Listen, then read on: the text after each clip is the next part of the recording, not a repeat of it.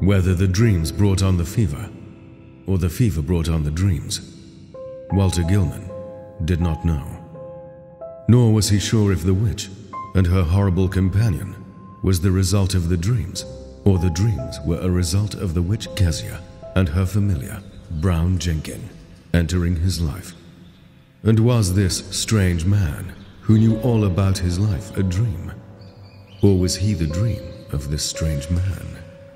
For he was sure he hadn't really traveled to the city of the Elder Things, that he hadn't signed the Book of Azathoth under the command of the Black Man, and that he most definitely had not borne witness to the Black Man's other form.